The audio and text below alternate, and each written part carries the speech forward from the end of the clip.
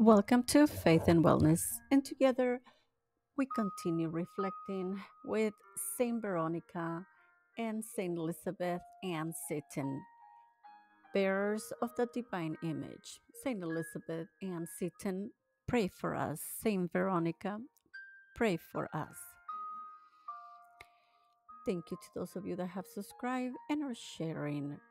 Together we begin to meditate. Saint Veronica and Saint Elizabeth Ann Seton, bearers of the divine image. These two great women show us that God can take the smallest and the most humble act of love and transform it into Veronica's veil, an imprint of his own divine charity and mercy. By Danielle Bean. A friend recently shared her thoughts with me the day before her oldest daughter's wedding. I know she's young, she said, but I'm happy she's getting married. The only thing I worry about is the fact that life gets hard when you get married. She's taking on a lot of responsibilities, and I dread seeing her struggle. I knew just what she meant. When my kids were small, it always did break my heart a little bit to see them suffer. But scraped knees and stomach bugs are one thing, the burdens of adulthood and the pains of the real world are even tougher for us moms to watch, to watch from the sidelines. Just the other day, my young adult son called to tell us that he was having car trouble again. He and his wife recently finished graduate graduate school during a few weeks between graduating and beginning their new jobs when money was especially tight and they were struggling to pay rent. They experienced a blown transmission and AC's engine. Engine. In the end, both of their cars completely died and needed replacing. The words I heard my husband speak to our son that night were true. We have been through tough times ourselves, but when we trusted in God, He has always provided us with all that we need. And yet, after we hung up the phone with our son, I found myself blinking back tears because it is stressful, burdensome, and exhausting to go through something like that. And I would rather they could skip it. Sensitivity to and compassion for the suffering of others is something we women have a unique cap- capacity for.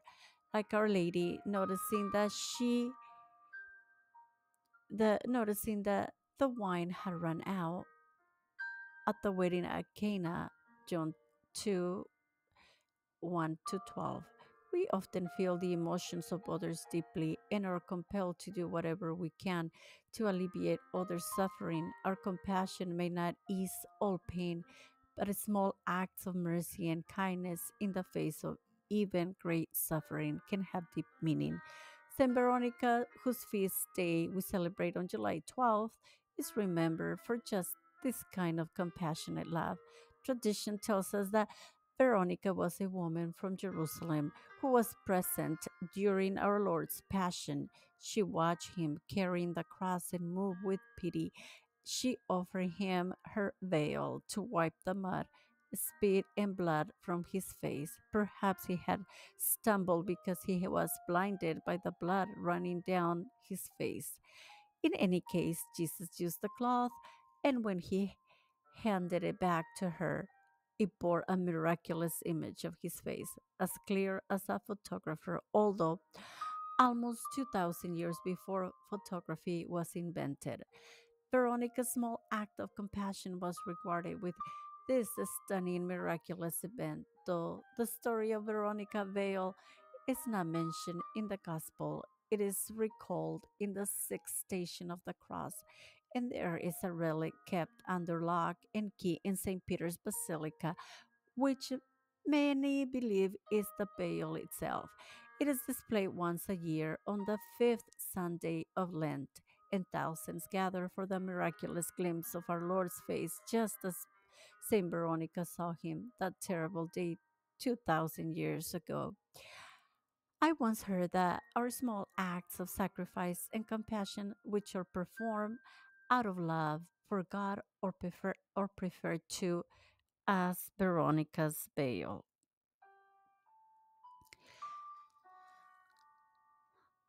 In the face of suffering, we can feel helpless to make any kind of difference at all. So I like the idea that the small things we do out of love for God and our neighbor can make a miraculous difference. We can all offer God Veronica's veil, veils as we fold our family's laundry, laundry, give our children hugs, drive, carpool, drop off a meal for a, a shut in, load the dishwasher, or just call a lonely person to say hello.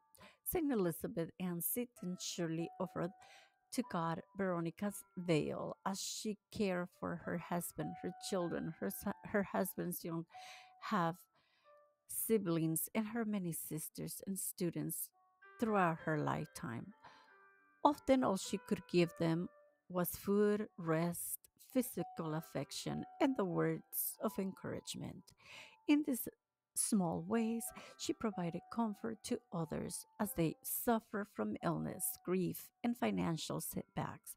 In a journal written for her sister in law, Cecilia Seton Elizabeth wrote, Dwelling now under the shadow of his cross, we will cheerfully gather the thorns which will be turned thereafter into a joyful crown. God takes our small sacrifices and turns them into something beautiful. Let me, O Lord, cheerfully gather thorns. Let me cultivate compassion for others. May I always bless, bless my family, friends, co workers, and everyone I meet with the small acts of love. I want to give all my suffering to Jesus, knowing that He can take even the most humble act of love and transform it into Veronica's veil, an imprint of His own divine charity and mercy. Saint Veronica and Saint Elizabeth Ann Seton, most generous and compassionate women, pray for us. And the writer of this reflection was Danielle Bean. She's a writer and popular speaker on Catholic family life, parenting, marriage, and spirituality of motherhood. She is the former publisher and editor in chief, in chief of Catholic Digest and the author of several books for women, including Mom Impotent, You're Worth It, and her newest book, You Are Enough. She is also a creator and host of a girlfriend's podcast. Learn more at daniellebean.com. This reflection was previously published to be, You know, um, I will continue to be recording more of of um, more reflections that come from the shrine of Saint Elizabeth Ann Seton. And in the description box, it is very important to reflect to reflect on the life passion of our Lord Jesus Christ, I'm going to leave a link to the prayers of Saint Bridget. Thank you, and may the Lord bless you and those who you love.